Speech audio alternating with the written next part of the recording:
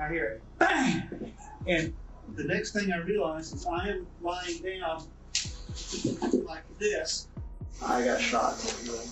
I fell back into the couch and on the floor.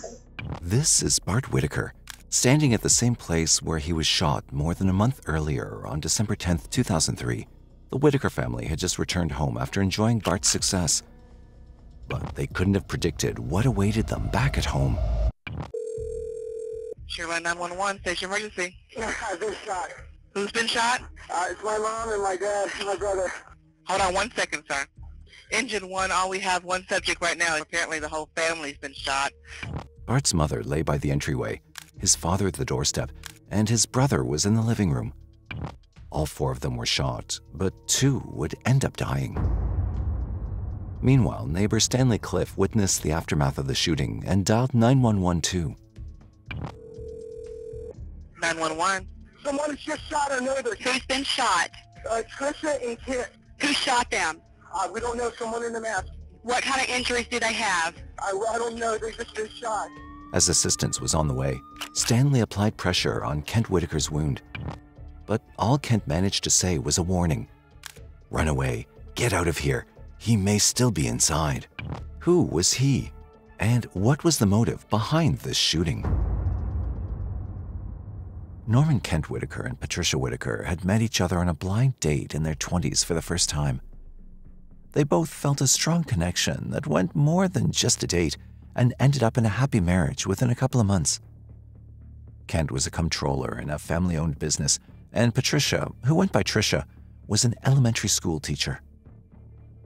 On December 31, 1979, they welcomed their firstborn son, Thomas Bartlett Whitaker, known to everyone as Bart. He was just the beginning of what would come to be known as a vibrant, healthy, and loving family. Bart grew up to be a promising young man. He not only did great in school, but also possessed a quirky sense of humor. One of the strongest bonds in Bart's life was his father, Kent. They even participated in organized biking events. Bart was an undergraduate student at Sam Houston State University. His family was proud of him and didn't hesitate to show it often in the forms of words or gifts. He became a big brother to Kevin, who was born on March 19, 1984. Bart and Kevin grew up together and were as close as brothers could get. Merry Christmas! Yes! Yes! Yes! Kevin, look what you got. I see one right here. I get it! I get it! At the age of just 19, Kevin often displayed a strong sense of maturity. Being the more sensitive one of the two brothers, he would confront injustice without hesitation. But he was also the one who forgave quickly. On December 10, 2003, Bart had called his mother to tell that he'd taken his one last final exam and was on his way to be graduating soon. To which Tricia had expressed to Bart that she was so excited she could jump up and down. Bart wished to mark the occasion by dining out with family and celebrating. And to do the same, in the evening, the family of Ford drove for about 10 minutes from their home in the Sugar Lake subdivision to nearby Stafford to dine at the popular seafood restaurant Pappadeaux. It was a happy night for the Whitakers. Tricia gifted Bart his graduation gift, a Rolex watch, the one he'd always wanted. There were giggles, exchange of jokes, and a lot of familial teasing of one another. It was the kind of fun that remained with the Whitakers as Kevin drove the family back home. Upon returning, Bart went to collect his phone from his car, the Yukon. Meanwhile, Kevin unlocked the front door, oblivious of what and who waited for him inside. As he entered the dining room, a gunshot went clean through his chest. As he fell to the floor, the car keys in his hand landed right beside him. The bullet had penetrated through his heart. Just as Patricia entered, a second bullet passed through her chest. Kent was still on the front porch. As he heard shots, he felt the burn of a bullet through his chest, shattering the humerus bone in his shoulder. Bart rushed in behind his father and entered the home. He found himself in the middle of a violent scuffle, struggling to defend himself amidst the chaos with a masked man, and got shot in his upper left arm before he chased the gunman out the back door. It was at this moment when the neighbor, Cliff Stanley, rushed to the scene and spotted Kent on the front lawn. He immediately removed his shirt and applied pressure to Kent's shot wound before making a call to 911.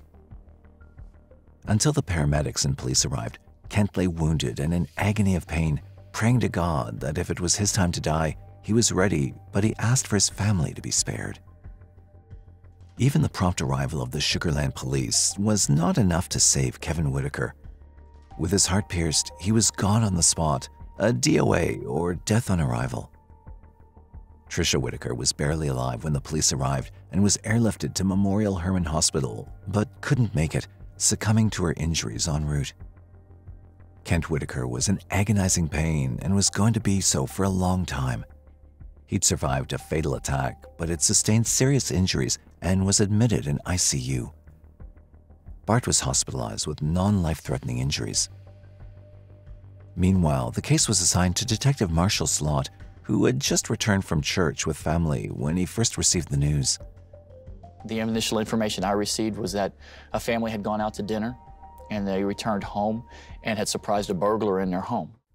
As the investigation started, an alert was put on for residents as law enforcement feared an armed killer was on the loose and had ample opportunity to cause harm again. Investigators initially speculated that the burglary had gone wrong when the family walked in on the burglars and surprised them. But once Detective Marshall Slot combed through the Whitaker home, he didn't find the theory plausible anymore. There were too many inconsistencies. To begin with, neither the valuable items in the house were moved around, nor was anything missing. Electronics, televisions, jewelry, and other valuable items were left in their place. Furthermore, in the master bedroom, both the dresser drawers and the armoire were wide open. However, the disorder usually ensued with burglary was absent. Instead of being rummaged through for valuable items, the drawers were uniformly pulled open at equal distances, presenting a surprisingly orderly scene. It looked like the person who handled the furniture had a lot of time on their hands. The inconsistency didn't end here. There was no break in. And finally, the murder weapon made it look all the more suspicious to the detectives. The murder weapon, a 9mm Glock handgun registered in the Whitaker's name, was found in the kitchen, but it was pried from a gun safe from one of the upstairs bedrooms, which was an isolated part of the house. Whoever did this knew what to look for and knew what was in the safe and exactly where it was. At this point, Detective Slot started to bring in other angles. He decided to turn his approach to the case more inwards. He focused more on familial ties and started with understanding how the relations of the late Tricia were with her husband Kent. Then, three days later, Bart was in a position to contribute to the investigation. An attempt was made to reconstruct the crime with the help of Bart. I hear it, bang! And the next thing I realize is I am lying down like this. I got shot. I fell back into the couch and on the floor. However, it didn't prove to be very useful, as Bart didn't seem to have seen the shooter because it was dark. There were other details the detective inquired about, but Bart's answers didn't prove to be very useful. Their radius of suspicion involved the rest of the family Kent and Bart Whitaker and the people who knew them. Who would want to target the Whitakers? The progress seems stunted on this end. Their loved ones and neighbors would not get tired of counting virtues of the perfectly beautiful family of the Whitakers and how they inspired them. When the investigators looked into Sam Houston State University, they initially conducted a routine inquiry and they didn't expect anything of significance. But what awaited them was nothing short of a bombshell. Investigators' inward approach brought them to a lie, a secret of a perfect family. When contacted, Sam Houston State University denied a Thomas Bartlett Whitaker enrolled as their undergraduate student.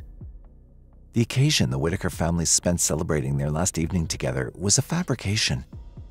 Bart was never to graduate because he wasn't enrolled. In fact, he never even attended college after the freshman year. He not even been attending the university. He was listed in their records as a freshman on academic probation.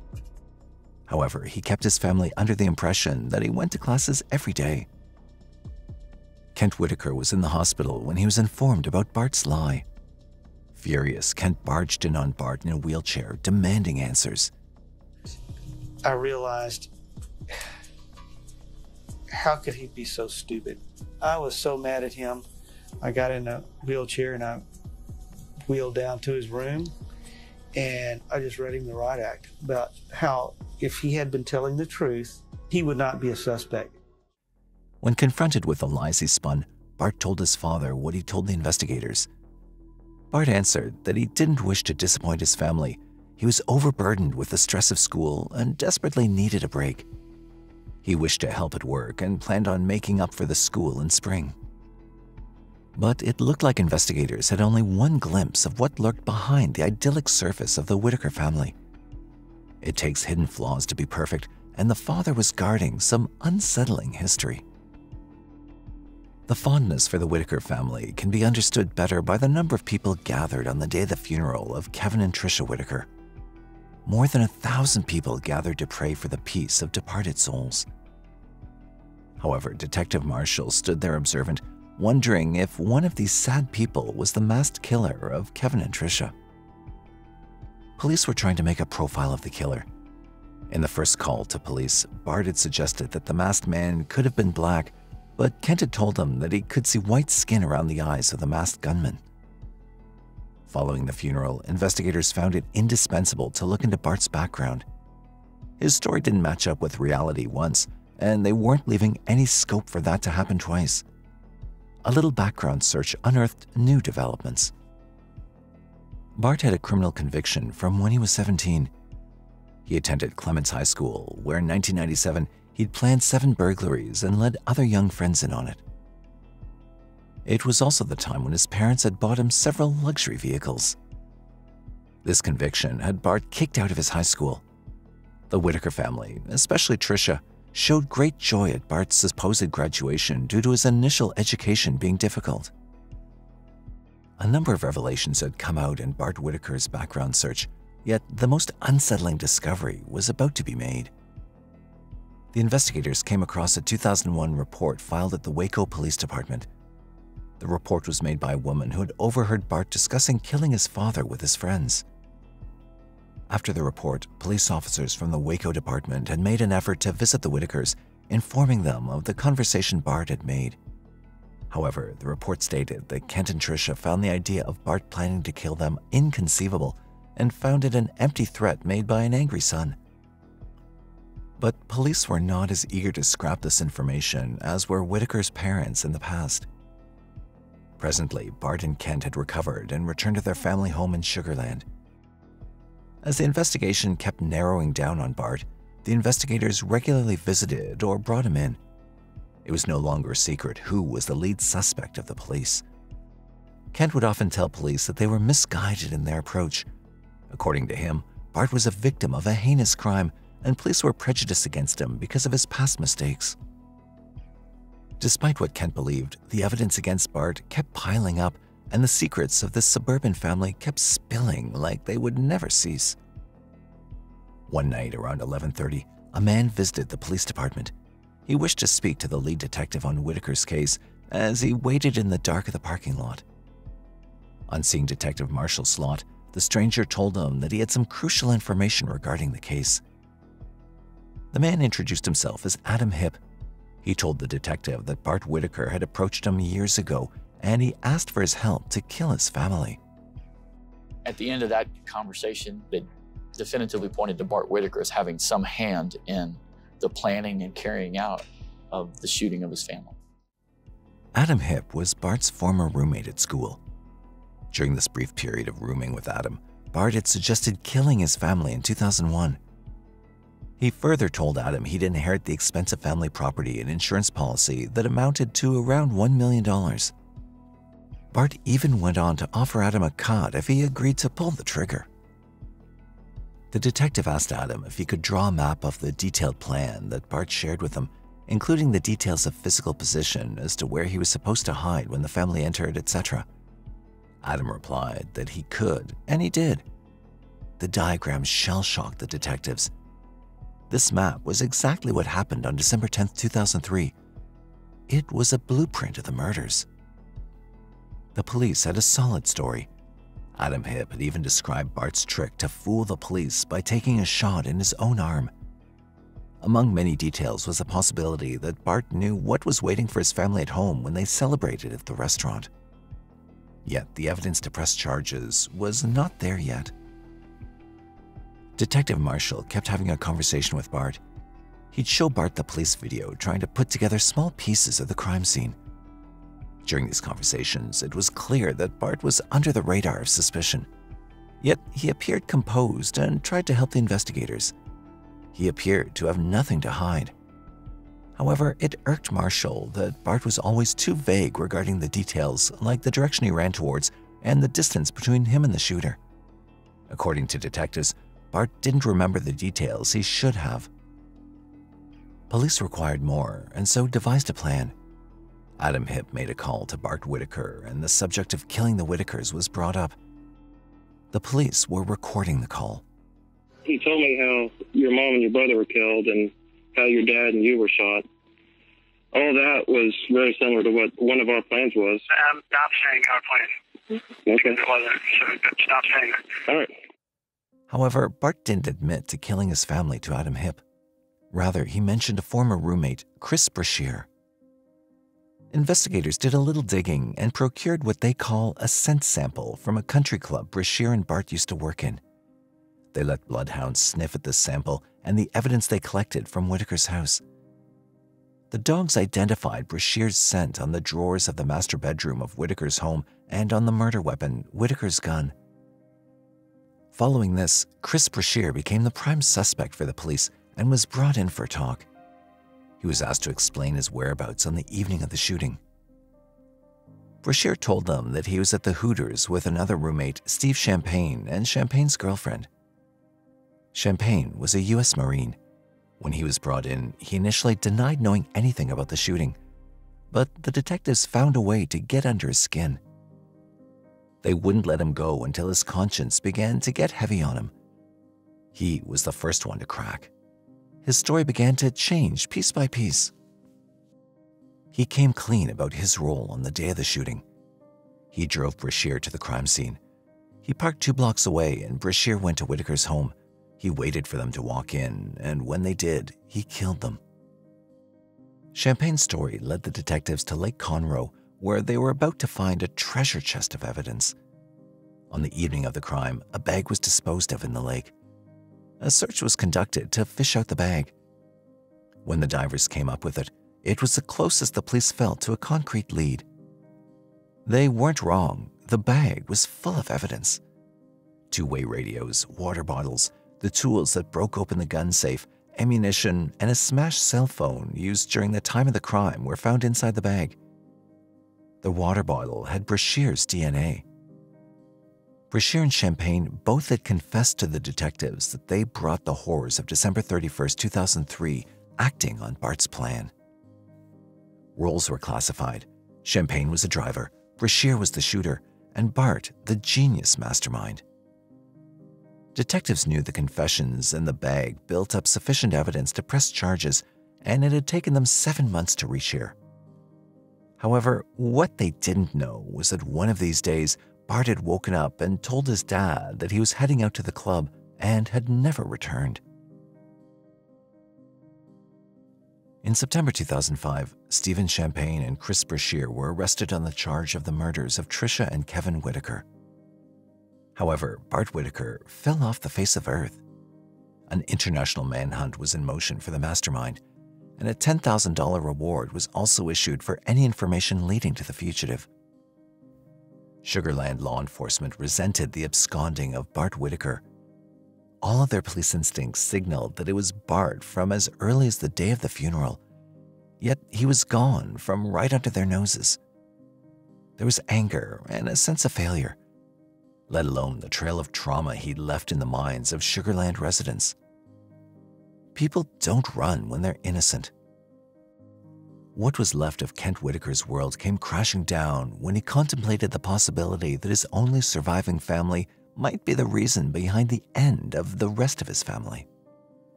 Days after the shooting, even before he knew who the culprit was, Kent had declared that he'd forgiven him. He called it God's calling. I realized He was leading me down the path, wanting me to forgive this nameless, faceless person in the ski mask who'd murdered my wife. But now it was his son, a son he'd not seen in months, to ask why. As time passed by without any solid leads, months felt like years to Sugar Land authorities and possibly to the Broken father, too.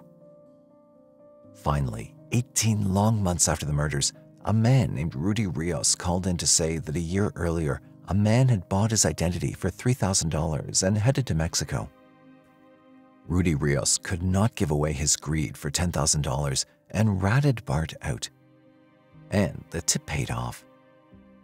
On September 24, 2005, in a dramatic development, Bart was found, arrested, and extradited to the United States to face prosecution.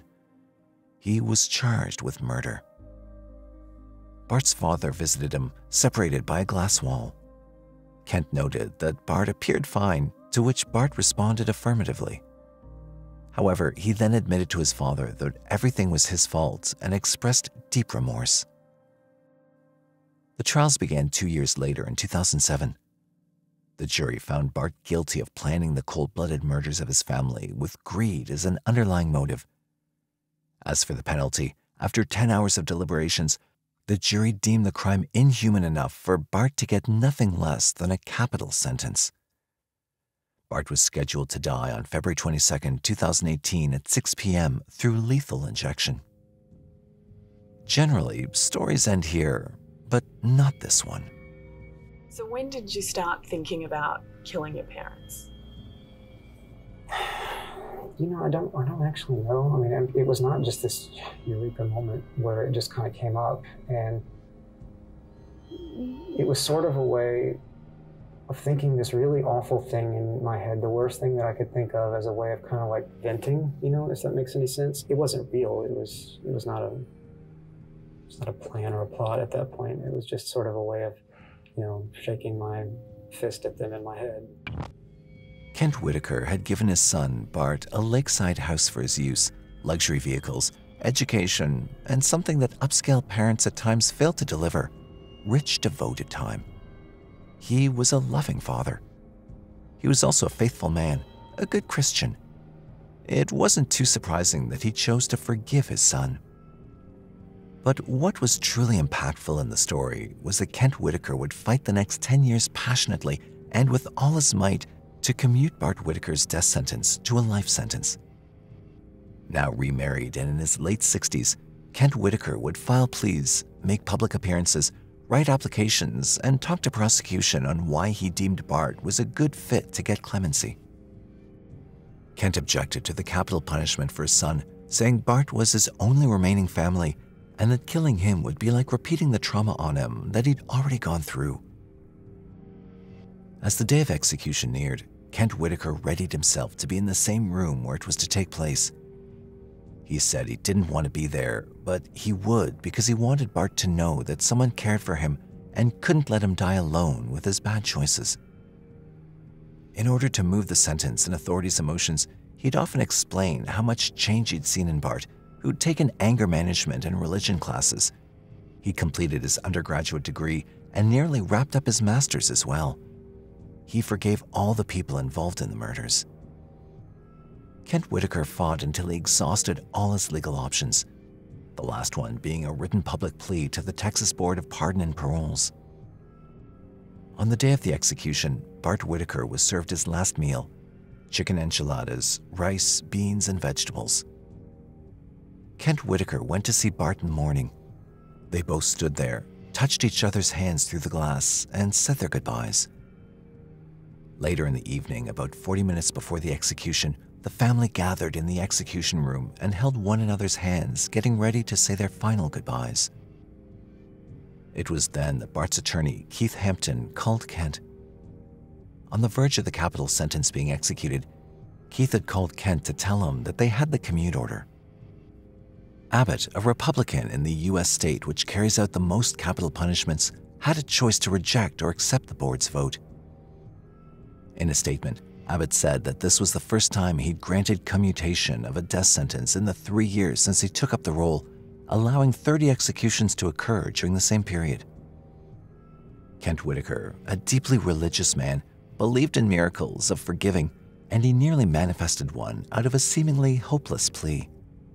Because who would have otherwise hoped for a man posing for pictures with those who admired him only to orchestrate their deaths shortly afterwards?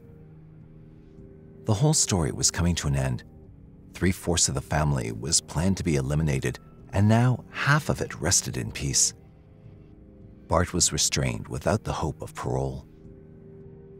But there were a number of people who were confident of something being even more wrong with Bart Whitaker than a man who murdered his family.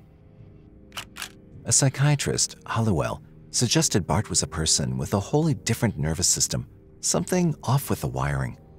Because sociopaths generally grow up with extremely traumatic events, but Bart grew up in a safe and loving household. He perceived rejection that was never there. What he did was in his DNA. That he showed almost no emotion. It was almost like he was mouthing the words. It was chilling. I was just blown away. Here's this young man who's done the about the worst thing a person can do, and it's as if he's talking about the weather. Some cases are closed in documents just to be opened in mind. The damage done by this case was irreparable. Trish and Kent were like second parents to many in their community, a support system, which makes it even more twisted that their own child turned on them. The moments of a father and son cycling around and talking until the sun went down, a mother who would jump up and down for her son's small success, and a young brother with his dreams and aspirations like an open road ahead of him. Everything was cut short, never to return. The case serves as a somber reminder of how heavy bad choices can toll. It's a tough lesson on how not knowing what's going on within the people around us can leave lasting pain. Deciding whether to use the death penalty or life imprisonment is tough. Some say it deters most dangerous criminals, but others, like Kent Whitaker, think life in prison is better. It boils down to what people believe and the laws in place. So, do you think cases as heinous as Bart Whitaker's warrant capital punishment? Or, because of the irreversible nature of the death penalty and inhumanity, is life imprisonment a better option? Let us know in the comment section below. And if you found today's video interesting, please consider subscribing to our channel, hit that like button, and share our videos. Also, if you have any crime story that you'd like us to cover, leave us a message in the comment section below.